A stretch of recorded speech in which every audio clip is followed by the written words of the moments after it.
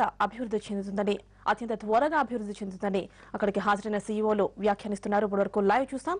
ఇక విజయవాడలో దుర్గమ్మను దర్శించుకున్న ఏపీ మంత్రి దేవినేని ఉమా ప్రస్తుతం మీడియాతో మాట్లాడుతున్నారు. ఆ లైవ్ చూద్దాం. సమస్యలో దృష్టి తీసుకొచ్చారు. తప్పకుండా అవన్నీ అధికారులతో మాట్లాడి సమస్యని పరిష్కారం చేయడం జరుగుతుంది.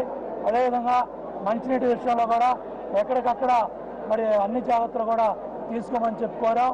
గత ఐదు సంవత్సరాలుగా సాధారణ భక్తులతో పాటు మొట్టమొదటి రోజు నడిచి రావటం జరుగుతూ ఉంది. అదేవిధంగా ఈ సంవత్సరం కూడా సాధారణ భక్తులు నడిచే క్యూ లైన్లో నడిచి రావడం జరిగింది. ఎక్కడైతే కార్పెట్స్ లేని చాట రాళ్ళు ఉంటే ఆ ఇబ్బందులు భక్తుల కాళ్ళకి ఇబ్బందులు వస్తాయి. అట్లాగే ఎక్కడైతే అడ్వర్టైజ్మెంట్ బోర్డ్స్ కట్టారో వాటిని కూడా తీసేయమని చెప్పాం. అట్లాగే బైండింగ్ వారు ఎక్కడైతే షర్ట్లకి చీరలకి తగిలే ఇబ్బందులు ఉన్నాయి వాటిని కూడా జాగ్రత్తగా చర్యలు తీసుకోమని చెప్పాం. ఎందుకంటే సాధారణ భక్తుడిని ఎటువంటి ఇబ్బంది లేకుండా అన్ని జాగ్రత్తలు తీసుకొని అమ్మవారి దర్శనం చేసి పంపించాల్సిన బాధ్యత ఆలయ వర్గాల మీద ఉంది. కాబట్టి అందరూ కూడా సమన్వయం చేసుకొని సహకారం చేసుకొని వచ్చిన భక్తులు భక్తి విశ్వాసాలతో అమ్మవారి మీద నమ్మకంతో భక్తి విశ్వాసాలతో కొంగు బంగారం వాళ్ళు సం ఏదైతే మరి రూపాయి సంపాదించుకుంటారో పది పైసలు సంపాదించుకుంటారో ఎంతో భక్తితో అమ్మవారికి మరి ఆ హుండీలో డబ్బులు వేసే పరిస్థితులు ఉన్నాయి. ఆ ప్రజాధనాన్ని అమ్మవారికి ఇచ్చిన ధనాన్ని చాలా జాగ్రత్తలు తీసుకొని కాపాడాల్సిన బాధ్యత అధికార వర్గాల మీద ఉంది.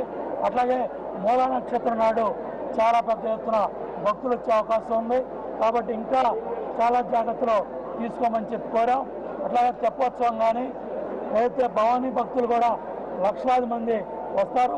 భవానీ భక్తులు మరి దేవాలయం చుట్టూ కూడా ఈ ప్రదక్షిణ చేసే పరిస్థితులు ఉన్నాయి కాబట్టి దానికి సంబంధించిన రోడ్లు మరమ్మతులు కూడా కార్పొరేషన్ అధికారుల్ని అన్ని జాగ్రత్తలు తీసుకోమన్నా ఏ రోజుకి ఆ రోజు పర్యవేక్షణలో తప్పకుండా అందరం కూడా కలిసి భక్తులకి ఎటువంటి ఇబ్బందులు లేకుండా అన్ని జాగ్రత్తలు తీసుకుంటామని చెప్పి తెలియజేస్తా ఉన్నాం.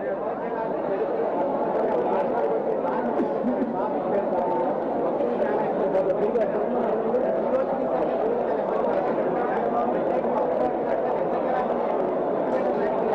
also